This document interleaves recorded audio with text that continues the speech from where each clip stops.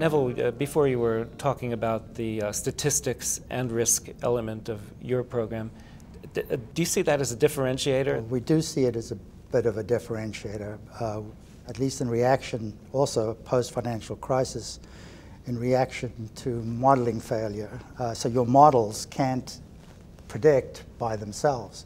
There has to be data analysis and data that drives your models more than a theoretical construct about how financial data and financial instruments should behave. But you other gentlemen wouldn't say you're not data driven, would you? Well, I'm certainly not as, as data driven as Neville is. We obviously teach students how to handle large data sets and that sort of thing.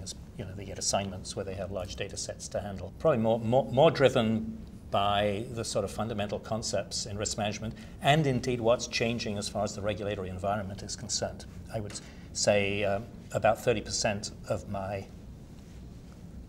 um, risk management courses or risk management electives that I teach at Rotman is about regulation. I think data is obviously fundamental to our uh, our program. Um, students are introduced to all the databases that Stern subscribes to. When they first come in, they're given an introduction to what, what's available, what they want to do. And because students have to do a, a, a capstone project at the end of the uh, program, it's important that they're all familiar with the data and what is available.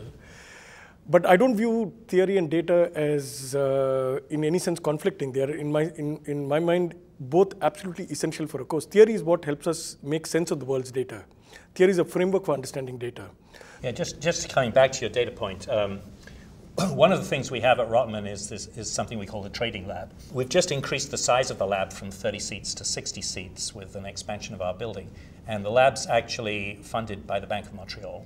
And so we're talking about data, our students learn how to use Bloomberg, how to use Reuters, and a quite a lot of the assignments that we give the students, we don't, you know, you don't say, well, assume this, assume this, but you know, go out and you know, go to the trading lab and find out what the volatility of such and such is in order to do this assignment. Actually, Stanford poached our lab manager and, and they've, they've recruited him to start Trading Lab, and that's in, indeed exactly what he's done at Stanford. We, we, uh, we have a small one, much smaller than, um, we have about, I think, eight Bloomberg terminals and screens. So we don't have a trading lab uh, at, uh, at, at Stern. What we have, tons of data sets. We subscribe to almost every data set under the Wharton uh, Research Database System. And we have a volatility lab that uh, was set up by uh, my colleague and Nobel laureate Rob Engle, which now has a there's a branch of the volatility lab in NYU Shanghai also. And I guess big data, uh, analytics, uh, mining data sets, as you as you put it, is has crept into the risk management discussion. The statistics department generally uh, has people who are very involved with big data.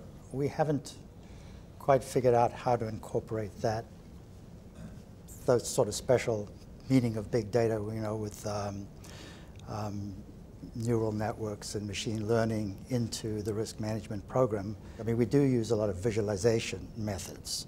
Uh, you know, coming from a statistics background, we will try to communicate uh, analysis through visualization.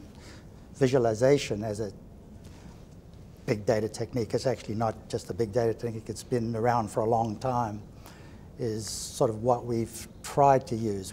In our risk management program, the integration of big data into risk management is in its infancy, but it's a program that's changing very rapidly. As I said, it's a very dynamic program. So if you'd, if you were to ask me the same question in five years, we'd have probably succeeded in integrating quite a bit of uh, the material in.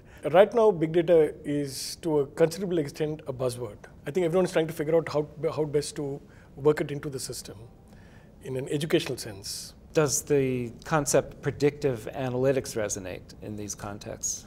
Predictive analytics to me is more like technical analysis where you're really not using maybe a model for a distribution. Everything is driven by, by patterns in the data. Now, predictive analytics to me is, is smacks of overfitting. I think there's a great risk of overfitting because you keep trying on the in-sample period to find the best fitting model. And if you try enough times, you'll find, a, you'll find a very good fitting model. But its out-of-sample Sharpe ratio could be null, and its in-sample Sharpe ratio could be very high. So a colleague Yeah. of mine once I wrote in a paper that if you torture the data long enough, it will confess. there you go. Um, in a sense, I think of it as lazy analytics, that you're not doing enough of thinking, you're letting the data do the thinking for you. There is a value to looking at the data, there's immense value to looking at the data, but one should not stop there or even close to it.